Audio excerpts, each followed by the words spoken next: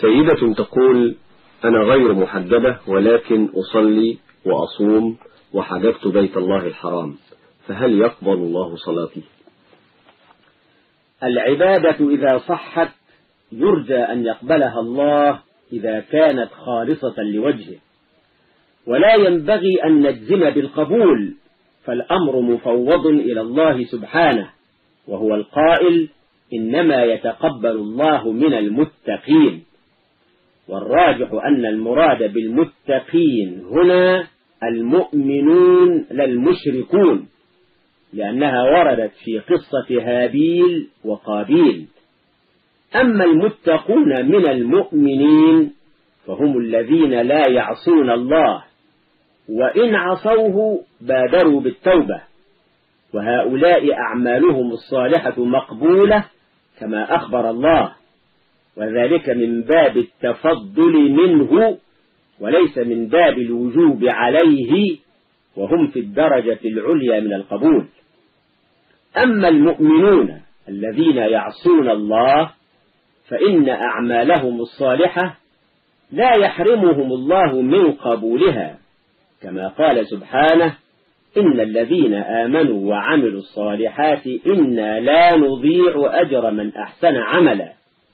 إلى جانب أن يعاقبهم الله على سيئاتهم كما قال سبحانه فمن يعمل مثقال ذرة خيرا يره ومن يعمل مثقال ذرة شرا يره. فالتي تصلي وتصوم صوما صحيحا خالصا لوجه الله يرجى قبول عملها ومع ذلك تعاقب على خلع الحجاب لأنه معصية. وإذا كان الله سبحانه وتعالى يقول إن الحسنات يذهبن السيئات فهو أعلم بحجم المعصية وهل يمكن لثواب الطاعة أن يذهب عقابها؟ ذلك أمر موكول إليه سبحانه. والمؤمن لا ينبغي أن يركن إلى العفو ويؤمل المغفرة وينزع من قلبه الخشية والخوف من الله. حتى لا يتمادى في العصيان. بل الواجب عليه إذا فعل معصية أن يبادر بالاستغفار والتوبة حتى يغفر الله له. قال تعالى وإني لغفار لمن تاب وآمن وعمل عملا صالحا ثم اهتدى. وفي الحديث الذي رواه الترمذي اتق الله حيثما كنت وأتبع السيئة الحسنة تمحها وخالق الناس بخلق حسن. وأنبه إلى أن المتمردة على الحجاب غير خائفة من الله. لا تبالي بأمره ولا تخشى عقابه. فهل إذا صلت أو صامت تكون خائفة من عقاب الله إذا لم تصل ولم تصم؟ لو كانت صلاتها أو صيامها مع هذا الخوف اللازم للقبول لكان لهذا الخوف أثره على سلوكها فالتزمت الحجاب. فتمردها على الحجاب أمارة على أنها كانت تصلي وتصوم بدون خوف من الله وبالتالي لا يقبل الله منها صلاتها ولا صيامها. قال تعالى وأقم الصلاة إن الصلاة تنهى عن الفحشاء والمنكر. وفي المأثور من لم تنهه صلاته عن الفحشاء والمنكر لم يزدد من الله إلا بعدا.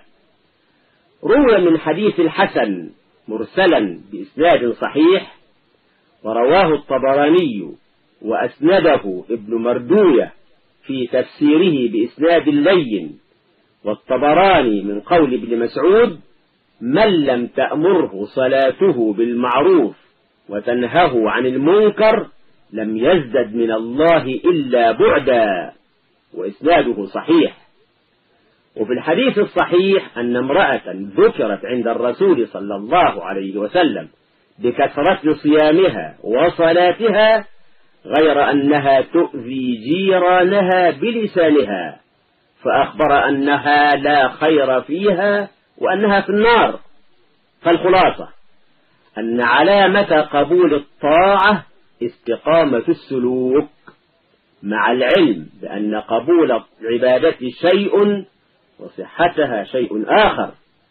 فقد تكون الصلاة صحيحة بأركانها وشروطها ولكنها غير مقبولة عند الله ولا يحكم عليها بأنها باطلة فليس هناك ربط بين الصحة والقبول.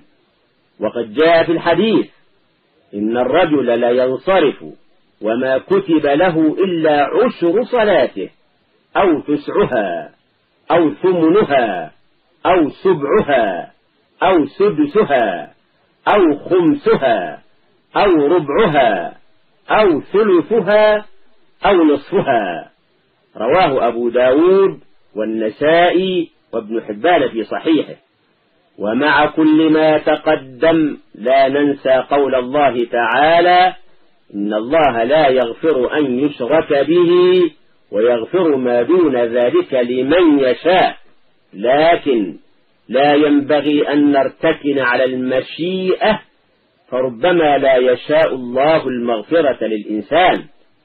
كما لا ينبغي الارتكان على قوله تعالى وآخرون اعترفوا بذنوبهم خلطوا عملا صالحا وآخر سيئا. عسى الله أن يتوب عليهم. إن الله غفور رحيم. بل ينبغي أن نبادر بالتوبة من المعصية. رجاء أن يختم الله لنا بالخير. والله أعلم.